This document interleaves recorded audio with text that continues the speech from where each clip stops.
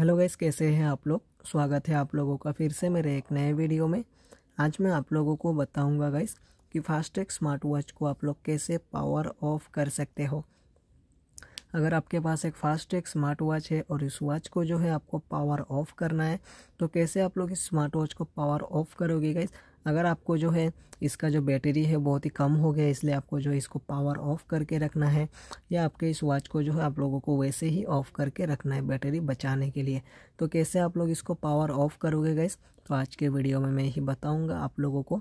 इसलिए वीडियो को लास्ट तक देखिए और अगर वीडियो पसंद आए वीडियो को लाइक कर दीजिए और चैनल को भी सब्सक्राइब ज़रूर से कर लीजिए। तो चलिए गए इस वीडियो को स्टार्ट करते हैं। पावर ऑफ़ करने का दो तरीका है। पहला तो मैं आपको बता दूँ सेटिंग्स में से तो यहाँ पर से लेफ़्ट साइड में स्वाइप करेंगे और एकदम नीचे स्क्रॉल डाउन करेंगे। एकदम लास्ट में आपको एक ऑप्शन मिलेगा सेटिंग्स का तो इस सेटिंग्स के ऑप्शन पे क्लिक कर दीजिए। क्लिक करने के बाद यहाँ पर से फिर से नीचे स्क्रॉल डाउन करना है और नीचे एक ऑप्शन मिलेगा पावर ऑफ़ का तो इस पावर ऑफ़ पे क्लिक करेंगे और यहाँ पर रेड कलर का जो राइट वाला ऑप्शन है इस पर क्लिक करेंगे तो आपका जो वॉच है वो पावर ऑफ़ हो जाएगा। तो मैं और एक तरीका बताऊँगा, पहले तो इसको ऑन कर लेता हूँ। तो सेटिंग्स में से जाके जो आप लोग कुछ इस तरीके से पावर ऑफ़ कर सकते हो। देख सकते हो, फिर से ऑन हो चुका है।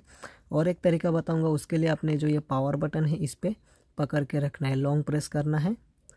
लॉन्ग प्रेस करते ही यहाँ पर पावर ऑफ़ का ऑप्शन आएगा। पावर ऑफ़ पे क्लिक कर देंगे। तो आपका जो ये वॉच है, वो पावर ऑफ़ हो जाएगा। तो मैंने जो है यहाँ पर दोनों ही तरीके बता दिए हैं। आप लोग किसी भी तरीके को जो है यूज़ करके अपने इस वॉच को पावर ऑफ़ कर सकते हो।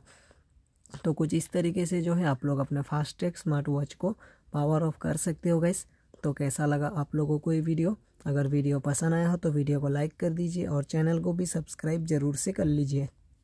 मिलते हैं कल एक नेक्स्ट वीडियो में, तब तक के लिए बाय बाय